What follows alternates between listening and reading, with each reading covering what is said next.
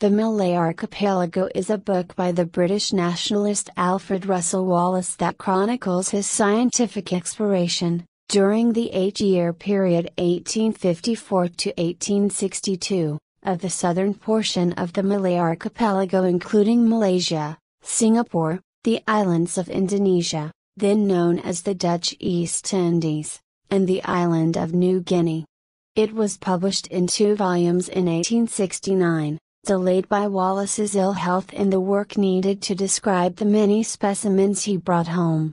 The book went through 10 editions in the 19th century, it has been reprinted many times since, and has been translated into at least 8 languages. The book described each island that he visited in turn, giving a detailed account of its physical and human geography, its volcanoes, and the variety of animals and plants that he found and collected.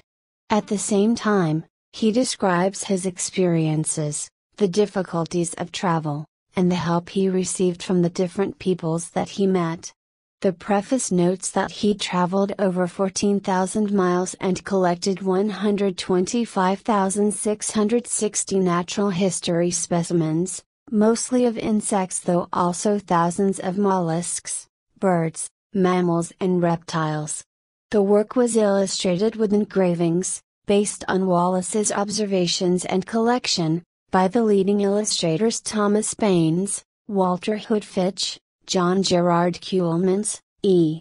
W. Robinson, Joseph Wolf and T. W. Wood. The Malay Archipelago attracted many reviews, with interest from scientific, geographic, church and general periodicals. Reviewers noted and sometimes disagreed with various of his theories, especially the division of fauna and flora along what soon became known as the Wallace Line, natural selection and uniformitarianism. Nearly all agreed that he had provided an interesting and comprehensive account of the geography, national history, and peoples of the archipelago, which was little known to their readers at the time, and that he had collected an astonishing number of specimens. The book is much cited, and is Wallace's most successful, both commercially and as a piece of literature.